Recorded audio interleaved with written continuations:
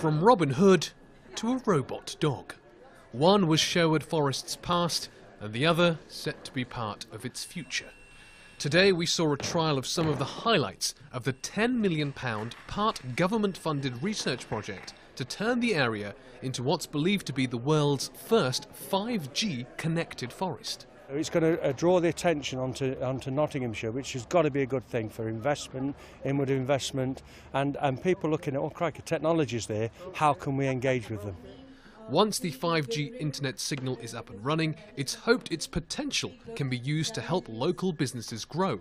Meanwhile, drones and robot dogs will be used to help with environmental protection research, and augmented reality headsets showing an interactive holographic film will be available for visitors to hire as part of the tourism experience.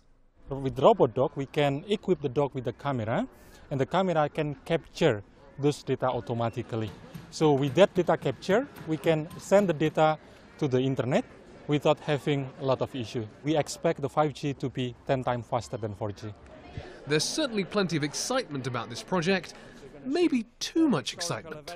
This will bring in billions. Uh, We've got a one Billions? I think billions. You think this will bring in billions of I think, pounds? I think eventually it'll bring in billions. And the reason I say that, at the moment, tourism in, in Nottinghamshire is 1.9 billion pound.